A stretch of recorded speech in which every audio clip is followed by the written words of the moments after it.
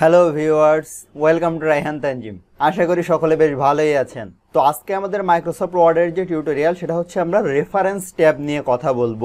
Generally আপনারা Microsoft word নিয়ে হয়তো অনেকেই কাজ করেন, কিন্তু রেফারেন্স ট্যাবের কাজটা আসলে কি, এটা আসলে অনেকেই জানেন না। ইভেন আমিও যখন প্রথম দিকে মাইক্রোসফট ওয়ার্ড নিয়ে কাজ করতাম, এই ট্যাবের আসলে লাগতো না বললেই চলে। তো আজকে আমরা দেখব যে রেফারেন্স ট্যাব দিয়ে অনেক মজার মজার কিছু কাজ করা যায়। তো সেই কাজগুলো আমরা আসলে কীভাবে করব সেটাই আমরা দেখে নিব। তো শুরু করার আগে আপনি যদি আমার চ্যানেলে নতুন হয়ে থাকেন, তাহলে অবশ্যই কি করবেন? চ্যানেলটা এখান থেকে সাবস্ক্রাইব করে নেবেন।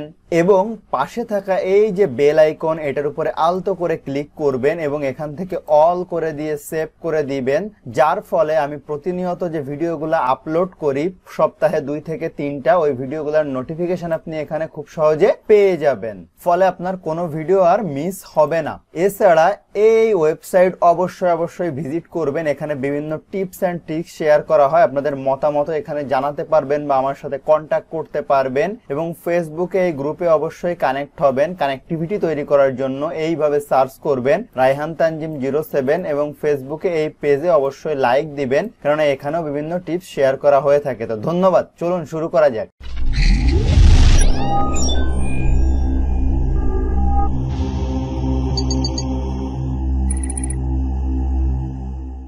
ওয়েলকাম ব্যাক তো দেখেন আমরা যদি রেফারেন্স ট্যাব মাইক্রোসফট ওয়ার্ড দুই হাজার ষোলো ওপেন করার পরে যদি আমরা যে রেফারেন্স ট্যাবে যাই, তো রেফারেন্স ট্যাবে প্রথমেই আছে দেখেন টেবিল অফ কন্টেন্ট তো এটার কাজ দেখানোর জন্য আমি কিছু ডেমো জিনিস অ্যাড করে রাখছি।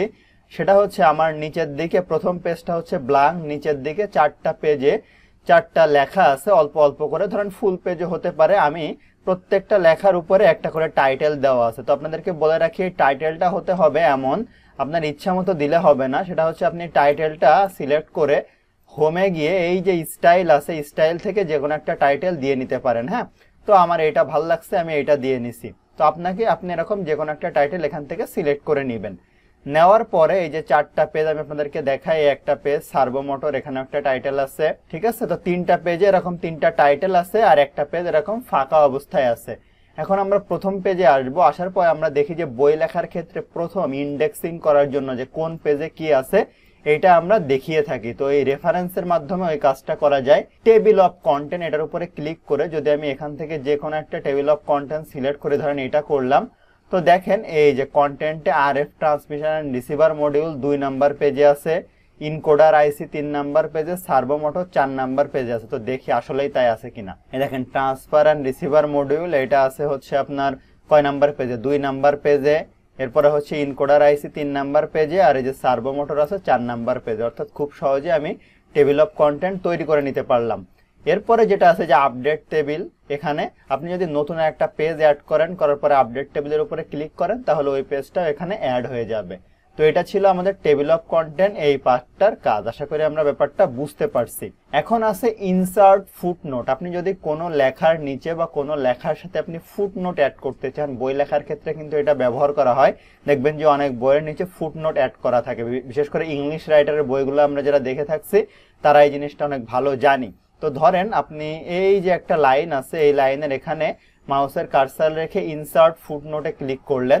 দেখেন, নিচে একটা দাগ চলে আসছে, তাই না? যে, যেমন আমরা সিগনেচার লাইট অ্যাড করি, তো এখানে আমি লিখলাম this is a good note suppose আমি একটা কিছু লিখে দিলাম, দেখার পরে আমি যদি এখানে আমার মাউসটা ধরি, তো দেখেন এই যে this is a good note এখানে দেখেন লেখাটা চলে আসছে। তো এখন যদি আপনি কোনো লেখার শেষে ইন নোট অ্যাড করতে চান ফুট নোট অ্যাড না করে ইনসার্ট ইন নোটে আপনি যদি ক্লিক করেন, তাহলে দেখেন এই যে, এই জায়গায় আপনি এরকম লিখে ফেলতে পারবেন।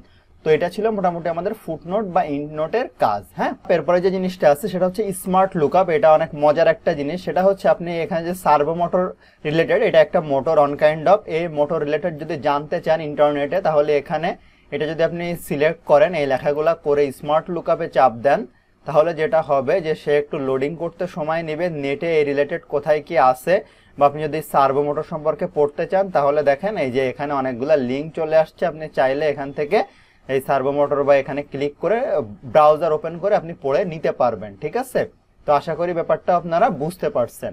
তো দেখেন, এরপরে যে জিনিসটা আছে সেটা হচ্ছে সাইটেশন অ্যান্ড বিবলিওগ্রাফি হ্যাঁ? এইটার কাজ হচ্ছে আপনি যখন কোনো বই লেখেন বা কোনো কিছু লিখতে যান, তখন কোনো একটা লাইন, ধরেন এই লাইনটা কোনো বই থেকে আপনি নিয়েছেন কপি করে, এখন তাকে তো ক্রেডিট দিতে হবে। যদি আপনি ক্রেডিট না দেন, তাহলে সে আপনার নামে কপিরাইট আইনে মামলা করতে পারে।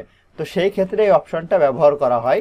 তো ধরেন আমি এই লাইনটা কোনো একটা বই থেকে কপি করে নিয়েছি, তো তাকে তো আমাকে ক্রেডিট দিতে হবে, তা না হলে তো সে আমার নামে কপিরাইট আইনে মামলা করে দিবে। তো এটার জন্য যেটা করতে হবে, এই লাইনটার শেষে এখানে আমরা মাউসের কার্চার রেখে ইনসার্ট সাইটেশনে যাব, যাওয়ার পরে অ্যাড নিউ সোর্সে যাব, যাওয়ার পরে যে কোনো একটা বই থেকে ধরেন আমি এটা কপি করছি, ঠিক আছে? বা বই থেকে নিছি বা জার্নাল থেকে নিছি, ধরলাম বই থেকে, তো অথরের নাম ধরেন লিখলাম যে, কার বই? ডিওয়েন ডন উবুন্টু ধরেন হ্যাঁ?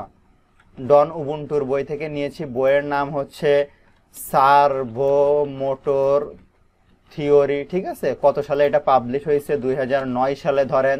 সিটি হচ্ছে ক্যালিফোর্নিয়া এরপরে হচ্ছে পাবলিশারের নাম হচ্ছে ইউটি পাবলিকেশন ঠিক আছে? আমি এখন যদি ওকে করে দেই, ওকে করে দেওয়ার পরে দেখেন, এই যে কার থেকে আসলে এটা নেওয়া হয়েছে যে উবুন্টু সার্বোমোটর থিওরি দু হাজার নয় সালে এটা এখানে কিন্তু অ্যাড হয়ে গেছে। অর্থাৎ সে বুঝতে পারবে যে আমার বই থেকে নিয়েছে, আমার রেফারেন্স সে দিয়ে দিয়েছে। অথবা আপনি যেটা করতে পারেন, এখানে যদি না দেন, না দিয়ে যদি আপনি একদম বইয়ের শেষে দিতে চান, ধরেন এই পেজের শেষেই দিতে চান, তো আপনি যদি এটা আপনার বইয়ের শেষে দিতে চান, তাহলে যেটা করতে হবে, এই যে শেষে ক্লিক করার পরে, এই যে বিবলিওগ্রাফির উপরে যে ক্লিক করে ইনসার্ট বিবলিওগ্রাফি দেন, তাহলে যে টোটালটা এখানে কিন্তু চলে আসবে। তো আপনার যদি ম্যানেজ সোর্স করতে চান যে কতগুলো আপনার আছে, এখান থেকে আপনি দেখতে পারবেন স্টাইল এটার স্টাইল আপনি কেমন দিবেন হ্যাঁ? বিভিন্ন রকম দেওয়া যাইতে পারে যে আপনি এক রকম দিলেন, এরকম স্টাইল এখান থেকে চেঞ্জ করা যাবে। তো এই ব্যাপারটা মোটামুটি আমাদের দরকার হয় যে কারোর বই থেকে যদি আমরা কোনো কিছু কপি করি রেফারেন্স দেওয়ার জন্য এই সাইটেশন অ্যান্ড বিবলিওগ্রাফি ইউজ করা হয়ে থাকে।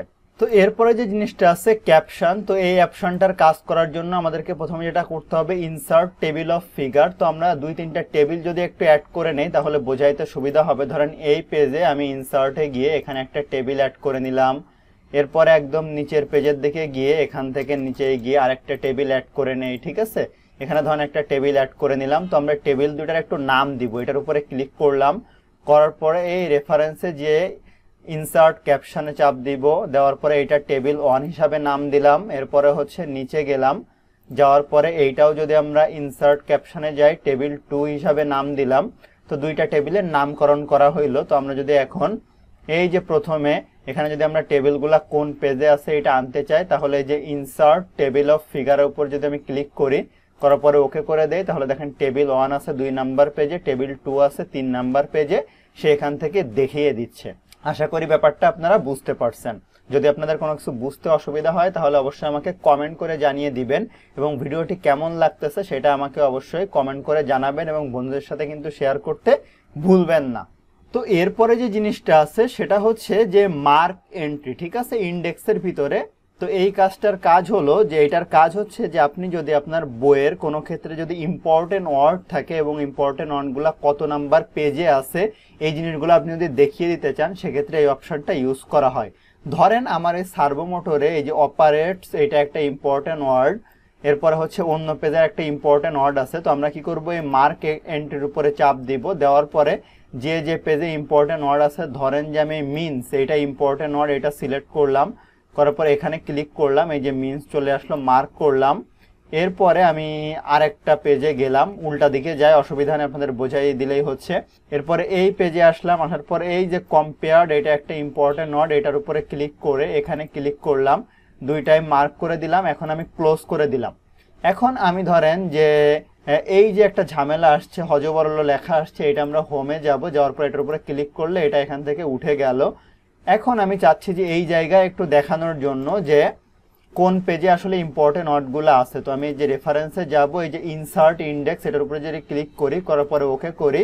তো দেখেন, এই যে আমি আগে দুইটা অ্যাড করে রাখছিলাম আপনাদের দেখানোর জন্য, আর এই যে মিনস আর এই যে কম্পেয়ার যে আছে, দুই পেজে চার পেজে বা মডুলেশন ডিকোডার এভাবে আপনি খুব সহজে যে কোন পেজে আসলে আপনার ইম্পর্টেন্ট নোটগুলো আছে, আপনি এখান থেকে দেখিয়ে দিতে পারবেন।